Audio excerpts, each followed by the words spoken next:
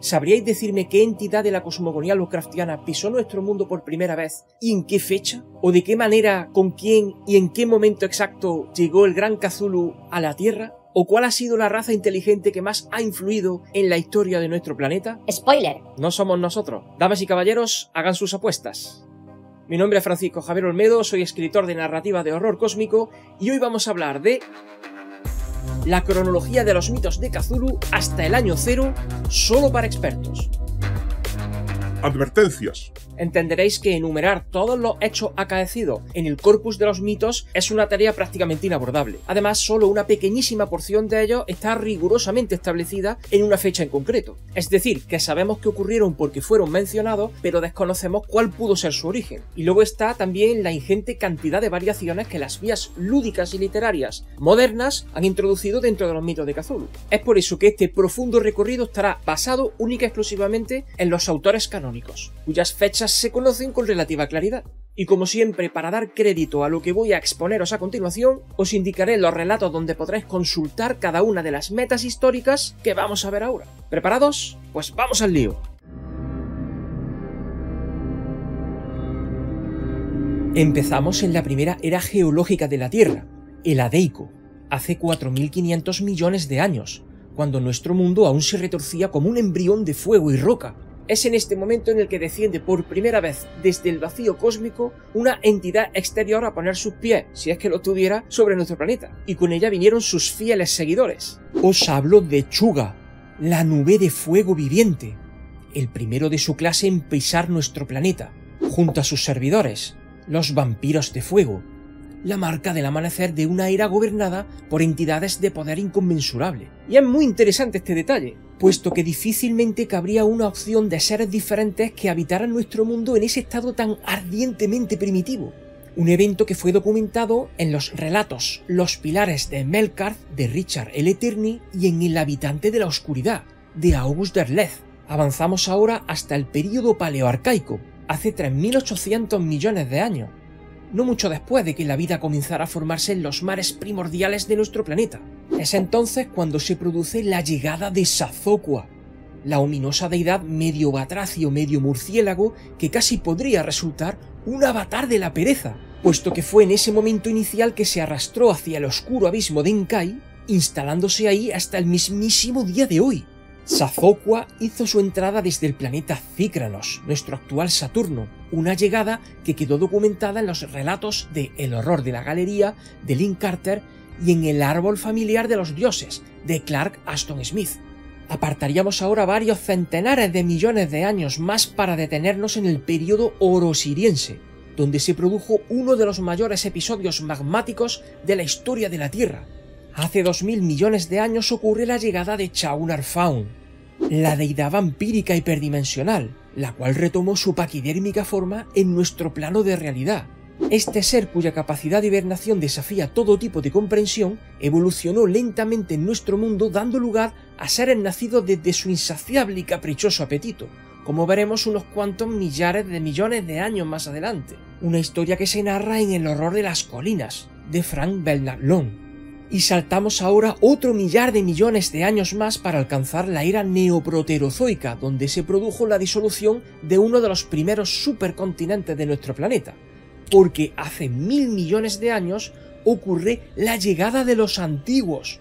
Desde las estrellas llegaron los antiguos poblando la Tierra y estableciendo las bases de la primera civilización que desafiaría al tiempo en nuestro planeta en el Océano Antártico erigieron su primera ciudad, una maravilla que quedaría más tarde perdida en las profundidades.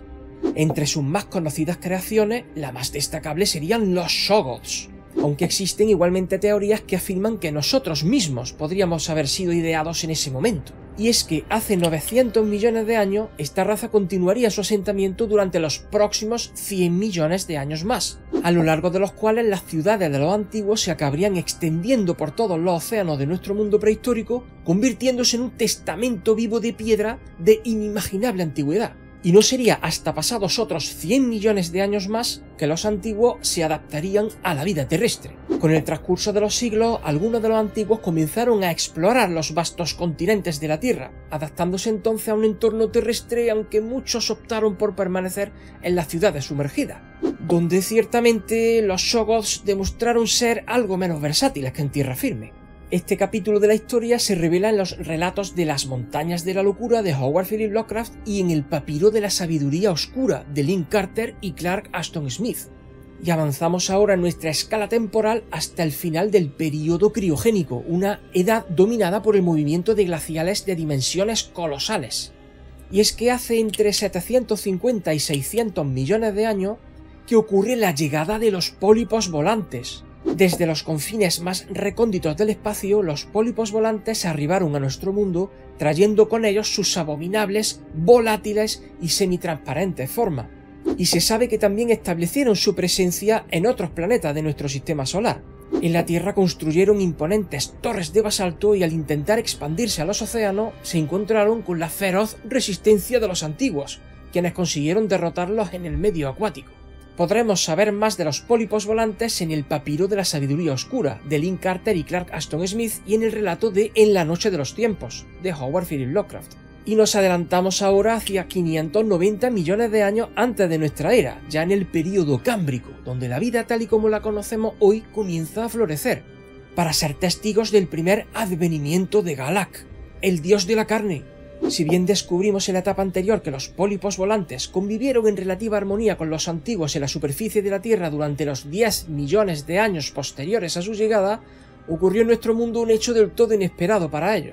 Y es que había llegado el momento del primer advenimiento, en el que el dios gestante debía salir de su útero de piedra en el núcleo de la Tierra, abandonando la placenta de roca fundida en la que había madurado por desgracia, no existen registros que nos permitan determinar con rigor cuándo Azathoth inseminó la tierra con el germen de este divino prodigio, por lo que en realidad no podríamos determinar si esta semilla de Azathoth estaría en la tierra antes de la llegada de Chuga y sus vampiros de fuego. Galak germinó a través de las distintas capas terrestres, ramificándose hacia la superficie en todas las direcciones posibles. Su ascensión dio lugar a desastres naturales de una magnitud única en la historia geológica de nuestro planeta, con centenares de miles de millones de toneladas de piedra y roca empujados hacia la superficie a través de las grietas que el corazón del mundo había abierto en su escalada hacia el exterior.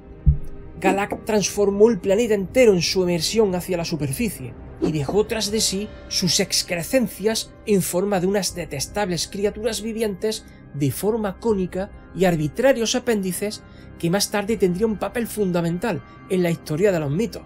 Pero mientras tanto, los pólipos que habían sobrevivido, así como los antiguos, lucharon durante decenios contra aquella masa viviente de dimensiones planetarias. Ante el infructuoso resultado de las contiendas, los antiguos abandonaron la superficie y regresaron a sus ciudades submarinas, dejando la Tierra abandonada al arbitrio del dios de la carne.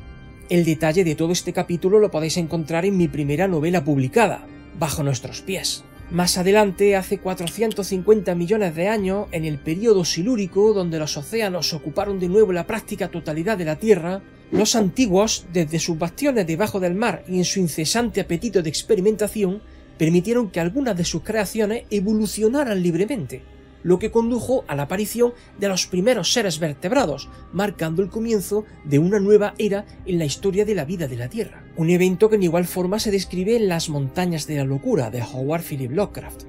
Un poco más cerca de nosotros, hace 400 millones de años, en el período devónico, se produce la llegada de otra de las especies más populares de todos los mitos de Cthulhu, la gran raza de Jith, una que tuvo un papel geológico vital, ya que permitió retornar a la Tierra a un estado en el que podría seguir evolucionando. Y es que mientras que los antiguos continuaban su vida en la ciudad submarina, la superficie y una considerable parte del océano, todo se ha dicho de paso, seguía ocupada por la mole cárnica emergida Galak, y sus repulsivas excrecencias, así como por los pocos pólipos volantes que aún resistían la invasión. Sin embargo, huyendo de un destino ineludible, las mentes etéreas y atemporales de la gran raza de Yiz llegaron entonces a la Tierra ocupando los cuerpos de esas detestables criaturas cónicas engendradas por el dios de la carne, y lucharon en primera instancia contra los pólipos volantes que quedaban, dado que resultaban un enemigo del todo conocido para ellos. Así que tras su victoria construyeron y establecieron como bastión la imponente ciudad de Nakotus.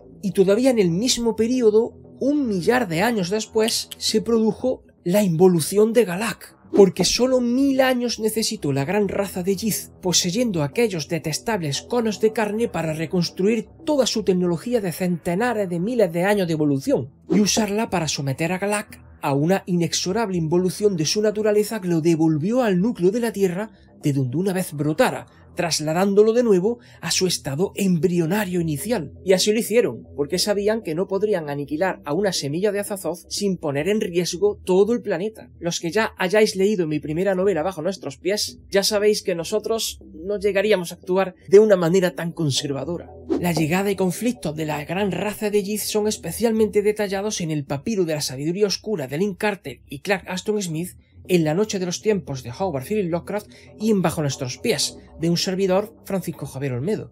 Y continuando en el período devónico, hace 370 millones de años, se produce la creación de los Miri Nigri. Porque es ahora, 1630 millones de años después que Chaunar Faun abandona su letargo y ante la ausencia de servidores que pudieran satisfacer sus sangrientos apetitos, crea los Mirinigri a partir de los anfibios primitivos que resistieron a toda la clase de cataclismos anteriores, dando lugar a una nueva forma de vida dedicada exclusivamente a su servicio. Este hecho se encuentra registrado en El horror de las colinas de Frank Belknap Long. Y mis queridos hermanos, llega ahora uno de los momentos más importantes de toda la cronología de los mitos de Cthulhu. Hace 350 millones de años, recién iniciado el período carbonífero donde todos los bosques de la Tierra quedaron sepultados en una nueva etapa de extinción masiva que dio lugar al petróleo que consumimos hoy en día y que envenena nuestro mundo. Y es que en ese momento se produce la esperada llegada de los socianos. Espera, que efectivamente los alienígenas oriundos de los planetas de la estrella de Soth que bien podría ser la estrella que nosotros conocemos como Sirio. Os hablo de Cthulhu y su séquito de semillas estelares. Los recién llegados hicieron del continente de mucho dominio, desencadenando una guerra contra los antiguos que todavía permanecían en nuestro planeta, que no se los quita uno de encima ni con agua hirviendo. Una guerra que concluyó con una paz que duraría alrededor de 50 millones de años. Fue en ese momento cuando se construyó la magnánima ciudad de Relie, que por ese entonces se hallaba en la superficie. La crónica de este periodo está contenida en el relato El horror en la galería de Lynn Carter, El papiro de la sabiduría oscura de Lynn Carter y Clark Aston Smith, en Las montañas de la locura de Howard Philip Lovecraft y en La transición de Titus Crow de Brian Lumley. Y todavía en el Carbonífero, hace 320 millones de años, se produce la llegada de Jig. El dios serpiente llega a la Tierra desde el planeta Zandanua, donde aún vive uno de sus hermanos, se dice que esta deidad fue la responsable de la creación de los reptiles y de los insectos. Dicho quedó esto en el relato La maldición de Yig, una colaboración entre Howard Philip Lovecraft y Cealia Bishop. Y ya en los límites del Carbonífero, acariciando el inicio del período pérmico hace 300 millones de años, se produce una guerra de los dioses primigenios, momento en el que sucede un segundo cataclismo, posiblemente ligado a dicho enfrentamiento, que azotó la Tierra sumergiendo Rillier y atrapando a Cthulhu y a sus semillas estelares en las profundidades del Océano Pacífico. Y hay registros que apuntan a que sería en este momento cuando Chuga y sus vampiros de fuego abandonaron nuestro planeta, puesto que se habían ido resguardando en capas cada vez más profundas de la Tierra a medida que nuestro planeta se enfriaba. La historia sugiere que este cataclismo fue un punto de inflexión en la lucha cósmica, documentado en Las montañas de la locura de Howard Philip Lovecraft y en El habitante de la oscuridad de August Derleth. Hace 275 millones de años, ya en el período pérmico, se produce la aparición de los hombres serpiente.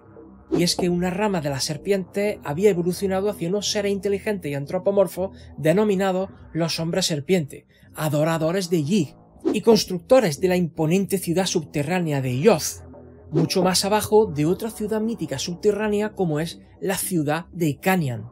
Estos mismos hombres serpiente terminarían apresando a la deidad a la que veneraban, allí, en el pozo de Engoth, dentro de las propias cavernas de Yoth. Este irreverente episodio nos fue revelado en el relato de El Túmulo, una colaboración de Lovecraft y Cealia Bishop. Entramos de lleno ahora en el período Triásico, dominio de los dinosaurios, hace 250 millones de años, para ser testigos de la rebelión de los Shoggoths, porque después de millones de años de servidumbre, los Shoggoths, una de las primeras creaciones de los antiguos, se rebelaron contra sus amos acuáticos. Este levantamiento provocó grandes disturbios en las ciudades submarinas, desatando una cruenta guerra que finalmente resultó en la sumisión definitiva de los Shoggoths, un evento crucial que se documenta también en Las montañas de la locura, de Howard Philip Lovecraft. Y fue a mitad del período Jurásico, hace 160 millones de años, que se produce la llegada de otra de las razas más populares de los mitos de Cthulhu, los Migo, una raza extraterrestre poseedora de una temible tecnología que invade la Tierra desde su puesto de avanzada en el planeta Yugoth, en busca de minerales únicos que no pueden encontrar en otros lugares.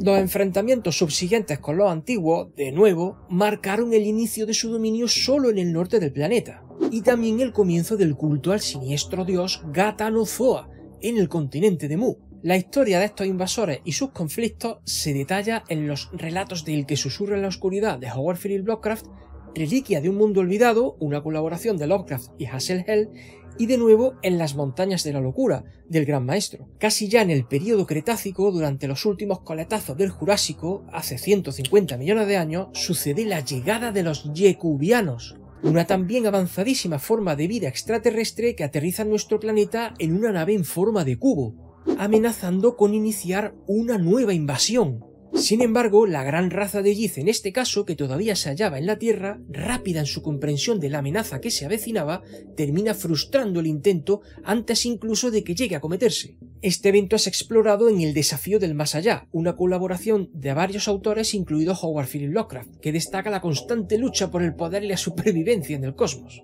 Hace 100 millones de años, ya en el Cretácico, es cuando se produce el apogeo definitivo de la civilización de los antiguos, que si comprobáis las fechas recorridas hasta ahora, empezaríais a entender por qué podríamos considerar a los antiguos la raza más influyente de todos los mitos de Cthulhu. Y es que los antiguos alcanzan su mayor expansión territorial y cultural en este periodo, sembrando toda la tierra con sus vastas ciudades. Sin embargo, este también marca el inicio de su decadencia, un lento declive que lo llevaría a refugiarse en las regiones más australes del mundo, lejos de las emergentes nuevas potencias que iremos viendo a continuación.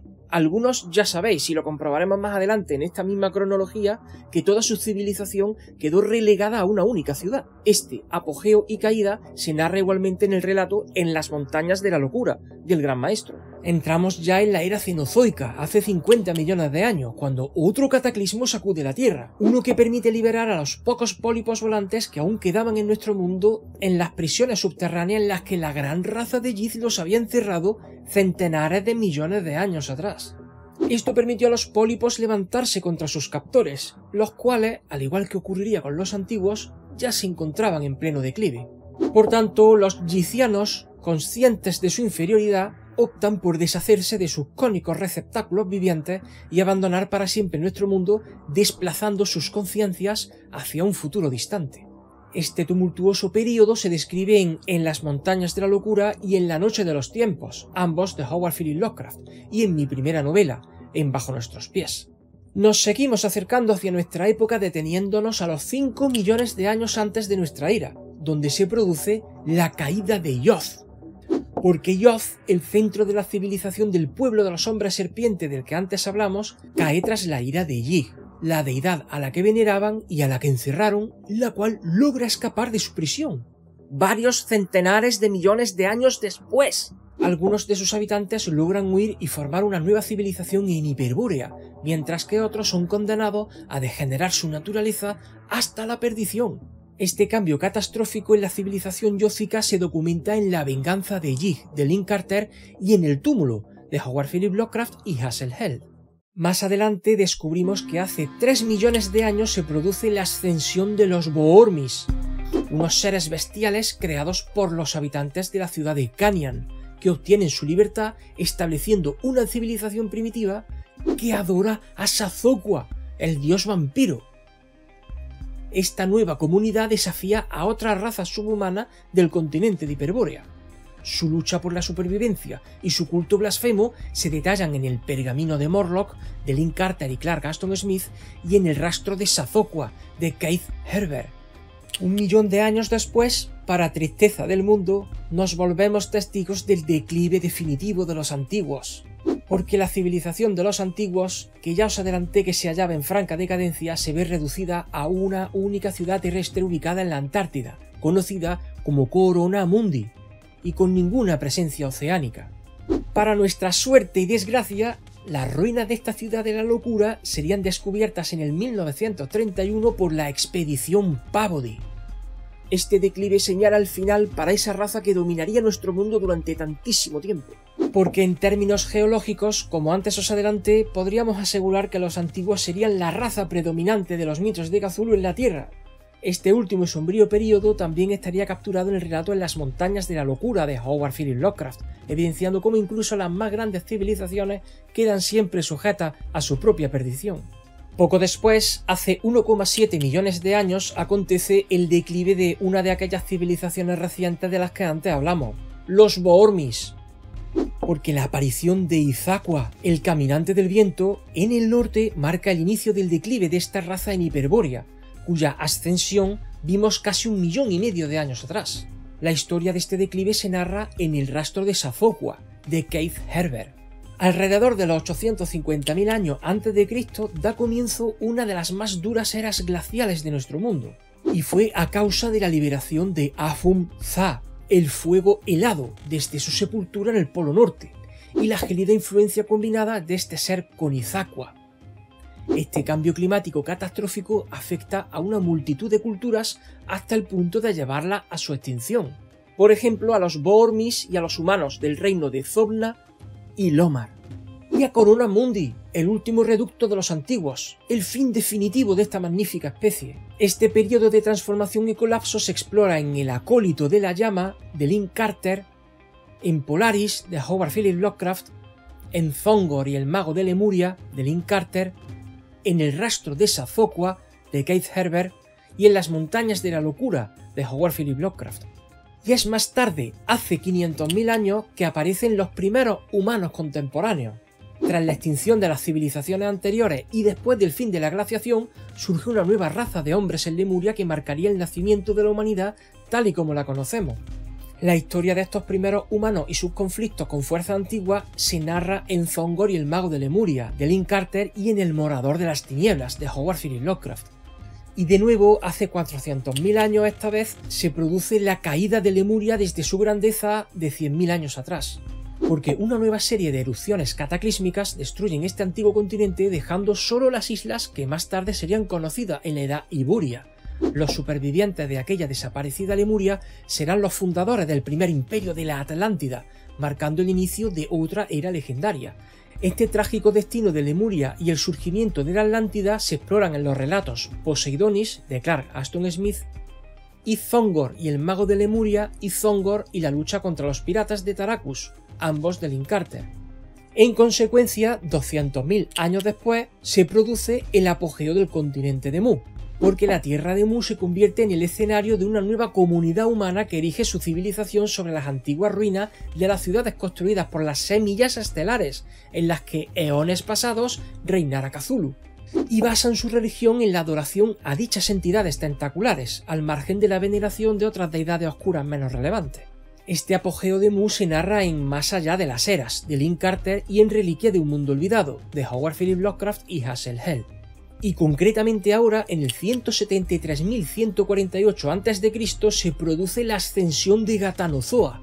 En el todavía burbujeante continente de Mu es ahora Gatanozoa, señor del volcán, el dios que emerge como la entidad dominante de la región, cambiando todos los cultos religiosos hacia él y relegando el resto de adoradores a grupúsculos que son activamente perseguidos un momento de cambio significativo de creencia y poder que se detalla en el relato Reliquia de un mundo olvidado, de Howard Philip Lovecraft y Hassel Hell. Y como final del nuevo ciclo, en el 161.844 a.C., sucede la caída de Mu. Y es que la adoración dominante a Gatanozoa en el continente de Mu provoca que un sacerdote llamado Zanzu trate de liberar a otra deidad que lo combatiera. En este caso, a Izoza, el horror del abismo, Un intento fallido que resulta en un cataclismo que hunde a Mu bajo el mar, sellando el destino de una civilización que fuera magnífica en otros tiempos. Este cataclismo y sus consecuencias se documentan en el relato El habitante de la tumba de Lynn Carter, en La cosa del foso también de Lynn Carter y en Reliquia de un mundo olvidado de Lovecraft y Hassel Hell. Y aproximadamente a los 24.000 años antes de Cristo se hacen patentes los últimos días de la antigua Atlántida, porque durante esta época el segundo imperio de la Atlántida, que había sido un reino de absoluto esplendor y se había expandido ampliamente, a causa de corrupciones internas se termina convirtiendo en un caldero de magia negra y adoración a dioses malignos, precipitando su destrucción y el hundimiento de gran parte de la Atlántida bajo las olas. La narración de estos tiempos se encuentra en La Estrella Negra de Lynn Carter, toda una oda a la decadencia inevitable que sigue a la corrupción espiritual y moral. Cuatro milenios después, aproximadamente en torno a los 20.000 años antes de Cristo, nace un nuevo centro de la civilización humana en el recién nacido continente Turio, emergido de los anteriores cataclismos. En este periodo, el continente turio se vuelve el escenario principal de la humanidad, consolidándose como un complejo tapiz político y social entretejido por muy diferentes culturas y creencias religiosas que se disputan el poder. Es en esta época cuando aparece la figura heroica del rey Kul, cuyas hazañas son relatadas en la Edad Iburia y el Reino de la Sombra, ambas de Robert E. Howard porque cerca del 18.000 a.C. es cuando se da inicio la Edad Iboria, debido a que un nuevo desastre cataclísmico transforma el mundo conocido, hundiendo Lemuria, devastando lo poco que quedaba de la Atlántida y dejando de nuevo solo un número de islas dispersas que cambiarían para siempre el paisaje turio. La Edad Iboria se inicia entre las ruinas de estas grandes civilizaciones, marcando una nueva era en la que la humanidad debe empezar de nuevo desde las cenizas de su grandeza pasada. Todo esto se deduce del relato homónimo La Edad Iboria, de Robert. Howard. Cinco siglos después, hace 17.500 años, los Yoigor llegan a la Tierra. Los Yoigor, unas poderosas criaturas inmateriales compuestas por un tipo desconocido de energía psíquica, pero que se manifiestan en ocasiones con enormes cuerpos reptilianos. Estos seres llegan a la Tierra desde la galaxia de Andrómeda y se asientan en los escasos restos del continente de Mu el cual dominan utilizando esclavos humanos para cumplir sus designios, a los que maltrataban con torturas terribles. Así quedó recogido en el relato El regreso de los Joygor, de Colin Wilson. Y en torno al 17.000 a.C. llega Bokrug, el gran lagarto de agua, y sus siervos, los Zoom-Ha, los cuales llegan con él a la Tierra, estableciéndose en dos ciudades principales, una de ellas destruida por las gentes de Sarnath, circunstancias que se relatan en los cuentos Bajo los páramos de Brian Lumley y en La maldición que cayó sobre Sarnath de Howard Philip Lovecraft. Y en esta edad histórica conectaríamos con el universo creado por Robert E. Howard en torno a las figuras del Rey Cool, de Bran McMorn, de Conan el Cimerio y muchos otros y que se ramificaría hasta el infinito hasta el punto de resultar debatible si pertenecerían o no a los mitos de Cthulhu. Por eso mismo no nos vamos a detener en esta franja que más podría estar relacionada con el subgénero de espada y brujería que con el horror cósmico. Así que saltamos directamente hasta el 9550 a.C., donde se produce un nuevo desastre que marca el fin de la era Iboria, borrando del mapa gran parte de lo que quedaba de las civilizaciones antiguas y llevando al mundo a una era de oscuridad y olvido que duraría varios miles de años. Este evento catastrófico, recordado en mitos como un gran diluvio, es una representación de la recurrente destrucción y renacimiento que caracteriza a los mitos de Cthulhu. Este evento devastador y los albores de las nuevas civilizaciones que surgen tras él se presentan en relatos como La Edad Iboria, de Robert E. Howard, y La maldición que cayó sobre Sarnath, de Howard Philip Lovecraft. Y nos adentramos ahora en una etapa igualmente conocida y temida por el público, aproximadamente en el 2613 a.C., el reinado de Nefren-Ka. En la tercera dinastía egipcia surge un faraón cuyo reinado se adivinaría marcado por el terror y el misterio, Nefren-Ka. Este gobernante, también conocido como el faraón negro, revivió el culto a ciertas deidades antiguas malignas, entre las que se encontraba él mismo, Nyarlathotep. Su adoración llevó a la construcción de un templo en el que se custodiaría uno de los artefactos más poderosos y enigmáticos de todos los mitos de Cthulhu, el trapezoedro resplandeciente. Este periodo de postergación fue explorado en los relatos de El morador de las tinieblas de Howard Phillips Lovecraft y El gusano de Urakhu de Richard L. Tierney. Y algunos siglos después, en el 2200 a.C., sucede el reinado de Nitocris, porque la sexta dinastía egipcia padeció el ascenso de la faraona Nitocris, la reina necrófaga, cuyo reinado estaría igualmente marcado por la oscuridad, porque Nitocris revivió el culto a Nyarlathotep y a través de actos innominables entre los que se encontraban la profanación y saqueo de criptas antiguas, terminó llevando a Egipto a un periodo de declive que fue conocido en la historia como el primer periodo intermedio. De todo esto podemos conocer más en el relato Bajo las pirámides, una colaboración de Howard Phillips Lovecraft y Harry Houdini, y en El espejo de Nitocris, de Brian Lumley. Casi mil años más tarde, en el 1650 a.C., los Ixos, descendientes de los primeros vestigios, llegan a Egipto y derrotan sin piedad a la decimoquinta dinastía faraónica egipcia. Fue así que el primer faraón Ixo introdujo la adoración a Sudemel, el gran excavador, una práctica adquirida de milenaria y reprobable influencia del Medio Oriente. Una era de cambio que duró varios siglos y que se explora en el relato El gusano de Urakhu de Richard L. Tierney. Y aproximadamente en el año 1290 a.C. se produce la llegada de los Zar, una enigmática raza extraterrestre que lleva a cabo un plan especialmente arriesgado en la Tierra liberar a Yoxozoth de su antiguo confinamiento en el monte Sinaí. Y aquí vemos uno de esos múltiples casos que encontramos dentro de los mitos de Cthulhu y que es consecuencia de proporcionar total libertad a los autores canónicos para actuar según su entendimiento. Y es que esto produce incoherencia tanto en origen como en naturaleza, como sería el caso que nos ocupa, de todos y cada uno de los elementos que componen la cosmogonía Lovecraftiana. Tenemos un clarísimo ejemplo aquí, en el que una entidad omnisciente, dueña del tiempo y el espacio, al margen de cualquier restricción dimensional, y prácticamente a la misma altura de Azazoth, acaba encerrada debajo de un monte en un planeta tan insignificante como es la Tierra. Y finalmente, estos enigmáticos seres extraterrestres logran su cometido liberando a Yoxozoth el cual regresa triunfante a su hogar extradimensional. Y seguro que regresará contento. ¿Qué pensáis vosotros a este respecto? A mí me escuece como si me hubieran metido un litro de tabasco por el asterisco. Así lo trata el relato Los vientos de Zar, de Richard L. Tierney. Y ya a las puertas de nuestra era, en torno a los 80 años antes de Cristo, se produce el nuevo despertar de Chaunar Faun, porque esta entidad vampírica decide abandonar de nuevo su hibernación para buscar refugio en la remota meseta de Chang, debido a que los romanos, en su expansión cerca de España, tropezaron con el refugio de esta paquidérmica deidad en los Pirineos, con devastadoras consecuencias para la legión romana, todo se ha dicho de paso. Tenéis todos los detalles de este caso en El horror de las colinas, de Frank Belknap Long.